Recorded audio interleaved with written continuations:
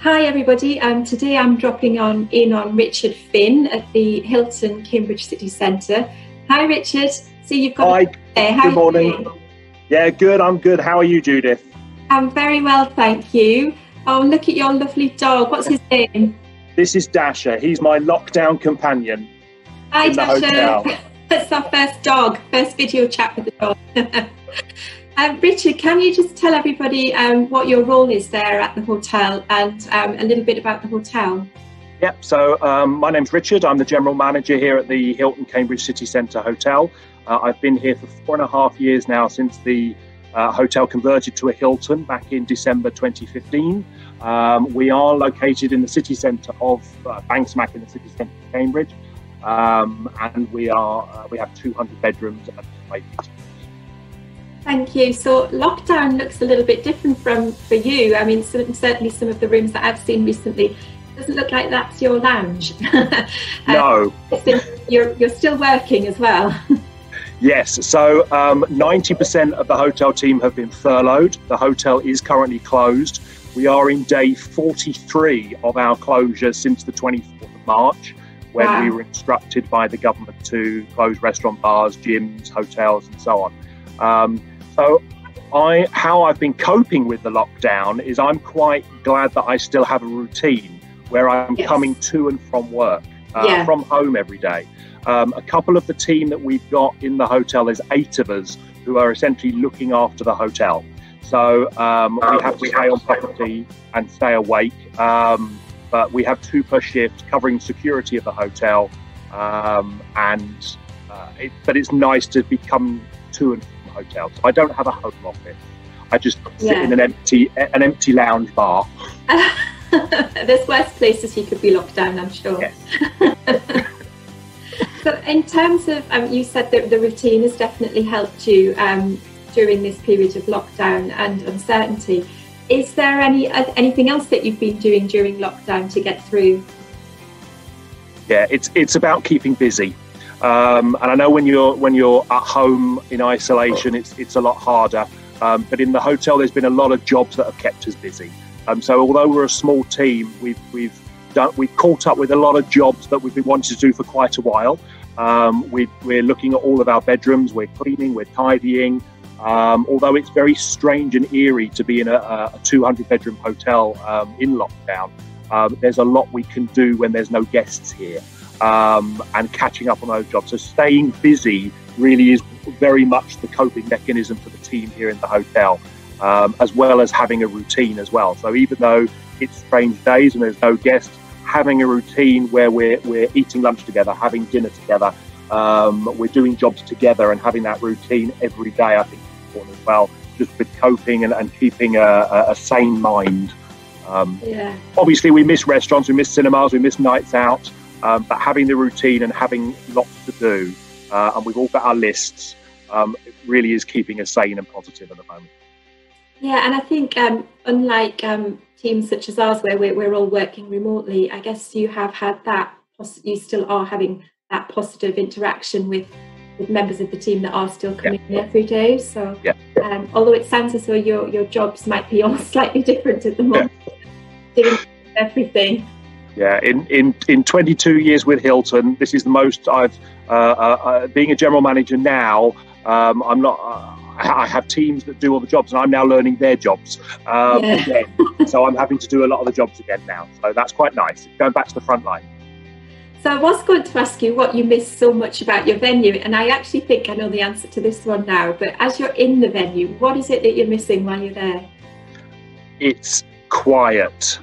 It's yeah. too quiet. Yeah. We miss we miss the guests, um, we miss the visitors, and I personally miss the team um, yeah. and being with them. We we can talk, uh, we can do little videos back and forwards, but being here in person with the team is what I miss the most. And as said, with ninety percent of them on furlough at the moment, it's um, it's difficult um, not having them here in the building. Yeah, and my other question that I've been asking everybody is. Um, what have they personally been learning during lockdown? It sounds like you've been busier than ever, so I'm not sure that you've had any spare time. But um, have you picked up any new skills? Um, as as said, I think um, I've learned a lot about the team that I'm with. Yeah. So the skeleton crew, the eight of us, um, there's a chef, uh, there's a front of house manager, there's a reservations manager, the ops manager, um, a, an engineer, um, and the nights team. Um, and I've learned a lot more about them because we're we're in close proximity with each other. We're, we're dining together every meal period, um, and so we've learned a lot about each other.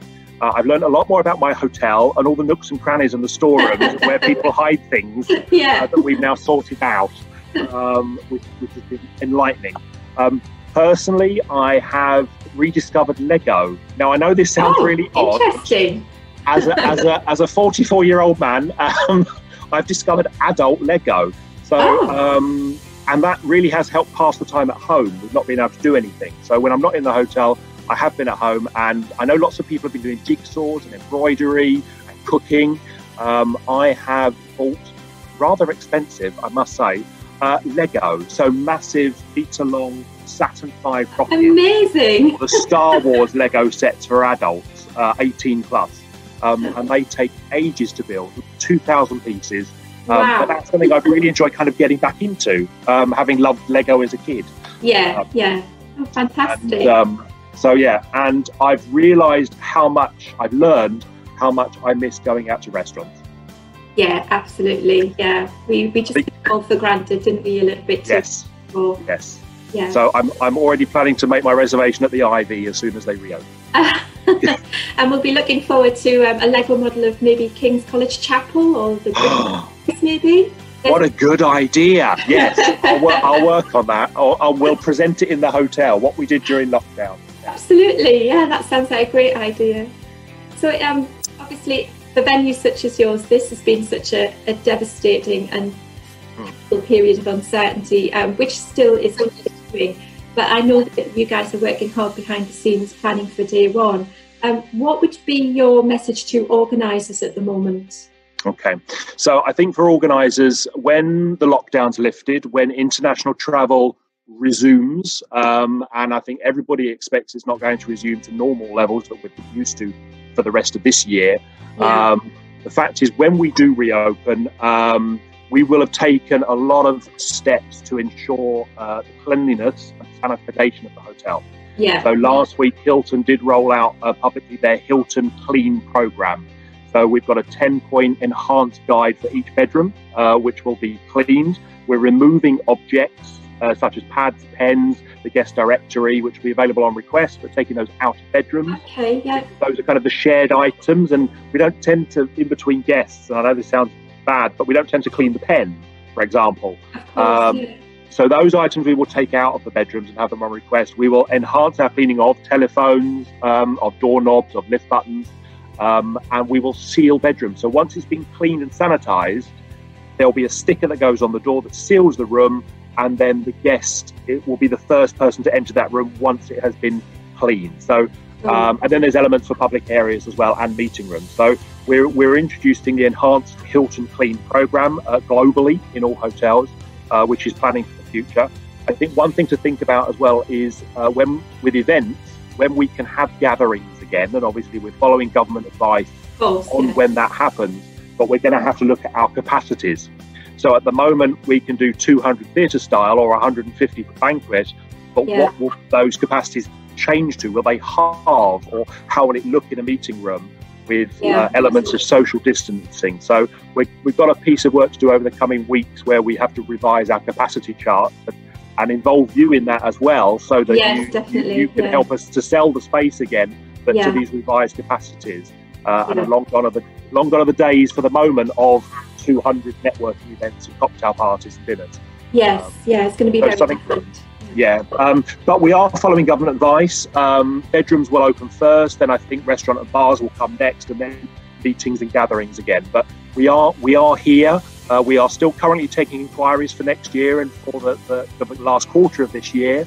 Yeah. Um, so although we're closed, we are taking inquiries and we are answering questions from uh, from booking agents, from guests directly, from companies themselves. Um, and we are taking all guidance and care in making sure that we are clean and safe, both for our team members, our visitors, and, and our guests. Thanks, Richard. It's good to know that there's so much going on in the background. Um, I guess a lot of this obviously is hinged on um, government advice. but it's good that there's so many scenarios being looked at and planning for all those different scenarios. And I think here at Meet Cambridge, we're confident that Cambridge will come back and we will meet again. And um, we're just counting down now to when that actually might be and hoping that everybody's prepared. And um, I know everybody's going to be so welcoming once that uh, once the um, are lifted.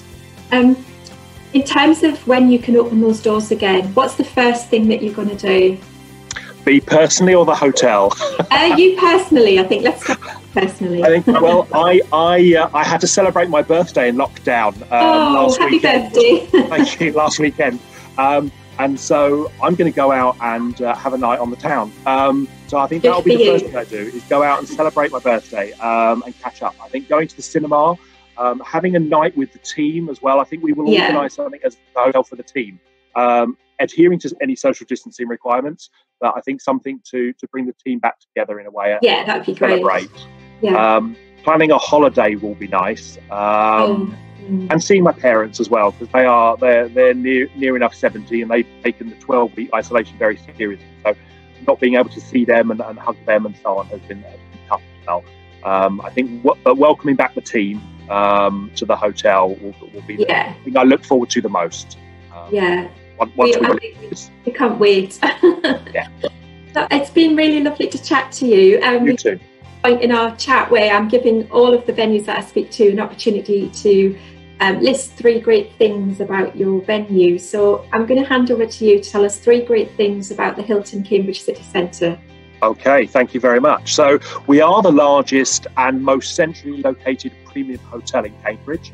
Uh, we're located next to uh, John Lewis and the shopping centres, as well as the colleges and the attractions.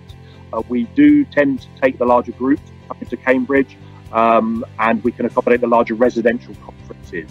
With 200 bedrooms at the five metre room, up to 200 theatre at the moment, um, we can take the larger residential conferences here in Cambridge throughout the whole year.